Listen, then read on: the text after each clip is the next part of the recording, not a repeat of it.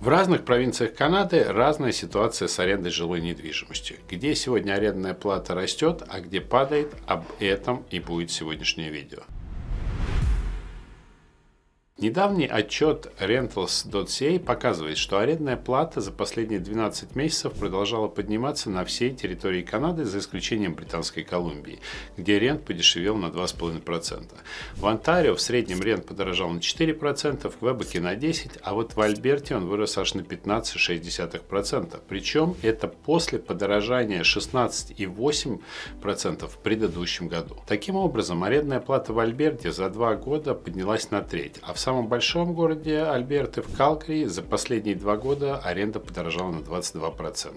В то время как рынки аренды Ванкувера и Торонто остыли в этом году, в Калгари все было по-другому. Стоимость аренды тут продолжала расти на фоне рекордной миграции и усугубляющегося жилищного кризиса, с которым сегодня столкнулась провинция. При этом в 2021 году, то есть до начала массовой миграции в Альберте, рост э, арендной платы тут составил всего 0,2%. Согласно последнему отчету Rentals.ca и Urban Nation, за последний год Калгари продемонстрировала один из самых больших годовых приростов арендной платы в национальном рейтинге арендной платы среди всех городов Канады. В отчете говорится, что пока жители Британской Колумбии, Онтарио и вновь прибывшие в страну иммигранты продолжают стекаться в Альберту, в городе ожидается гораздо более высокий рост арендной платы, чем в среднем по стране.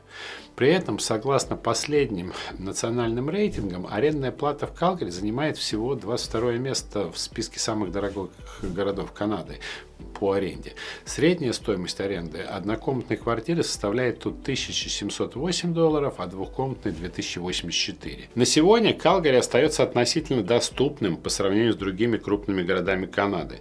В Ванкувере средняя стоимость аренды однокомнатной квартиры составляет 2700 э, долларов, а в Торонто 2521. Но при этом Калгари сегодня самый высокодоходный для инвесторов город во всей Канаде, так как при арендной плате на 30% 10% ниже, чем в Торонто, стоимость самой недвижимости в 2,5 раза дешевле, чем в Торонто.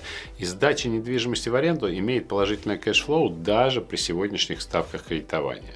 Сегодня Альберта переживает рекордную межпровинциальную миграцию за всю историю наблюдений в Канаде. Только за период с июля по сентябрь этого года более 17 тысяч человек переехали э, в провинцию из других частей страны. В отличие от Онтарио, законодательство в Альберте полностью на стороне лендлордов. Тут нет никакого рент-контроля и автоматических пролонгаций договоров аренды.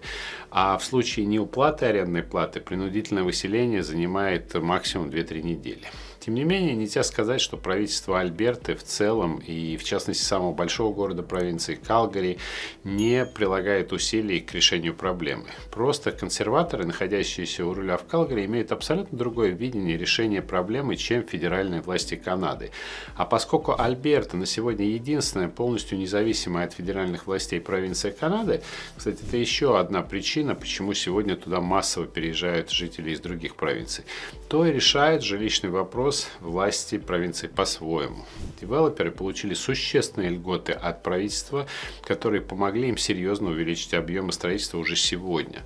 Объемы строительства продолжают расти, а частные инвесторы с удовольствием вкладываются в недвижимость Калгари, так как цены тут стабильно растут, и прибыль при продаже прапорти после инвестиционного цикла – это, как правило, 2-4 года строительства плюс 3-5 лет аренды. Очень высокая. Соответственно, со временем, конечно, это не будет быстро. Я думаю, что на сегодня можно говорить как минимум о пяти годах. Количество построенного для аренды жилья в Калгари э, повысится, и рынок насытится. Соответственно, арендная плата стабилизируется. Так что, на мой взгляд, власти Альберти делают все правильно для будущей стабилизации арендной платы в Альберте. Причем решают это они глобально, путем наращивания объемов строительства, а не путем запрещения поднятия ренты, как это делается во многих провинциях Канады. Рент-контроль создает лишь иллюзию решения проблемы, а в реальности отталкивает инвесторов от приобретения недвижимости для сдачи в аренду, что в итоге приводит к уменьшению спроса на рынке новостроек и как следствие к уменьшению темпа строительства и нехватки недвижимости как на продажу, так и на аренду в будущем. Если вам нравятся мои обзоры, не забывайте ставить лайки, подписывайтесь на канал и всегда приятно видеть ваши комментарии. До новых встреч на канале.